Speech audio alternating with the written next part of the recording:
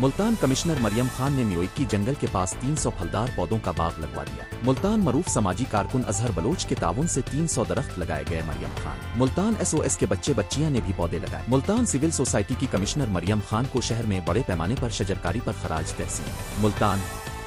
शहर में जंगलात ऑक्सीजन पैकेट्स का काम देंगे मरियम खान मुल्तान पीएचए को म्यूक की जंगल बनाने का टास्क सौंपा गया है मरियम खान मुल्तान म्यूक की जंगल में लोकल अजनास के तैयार दरख्त और फलदार दरख्त लगाए जाएंगे कमिश्नर मुल्तान मुल्तान म्यूक की जंगल शहर के लिए फेफड़ों का काम देंगे एच मुल्तान म्यूक की जंगल ऐसी आलूदगी के साथ दर्जा हरारत कम करने में मदद मिलेगी आसिफ राउत